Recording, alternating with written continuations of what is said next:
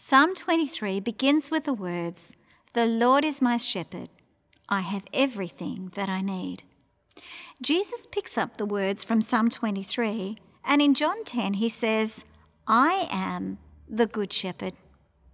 Let me tell you a story to help us understand what Jesus means when he says, I am the Good Shepherd.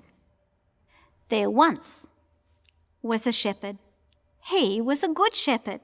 He had lots and lots of sheep. Every morning, the sheep would wake up, ba, ba, ba. And every morning, the shepherd would be there. Come on, Curly. Out you go there, Snowy. Stop your dawdling there, Woolly. Stay close together and follow me.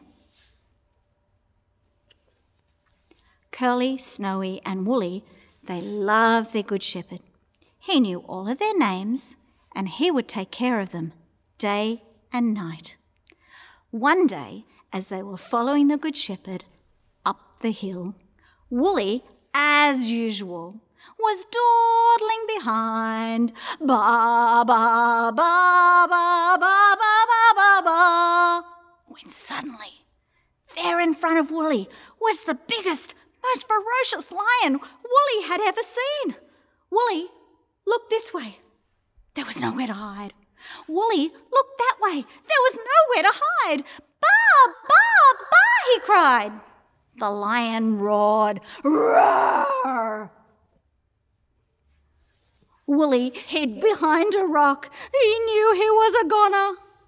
When suddenly, there stood his good shepherd, ready to fight. The fight began.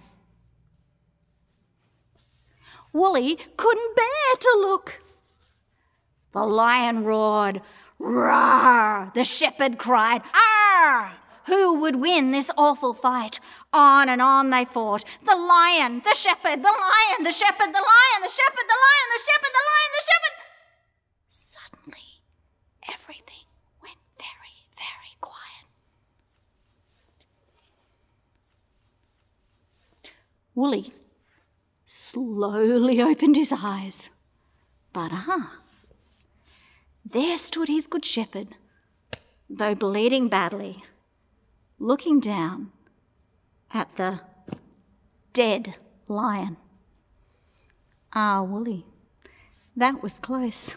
You need to stay close to me. You need to listen to my voice, and I will take care of you always.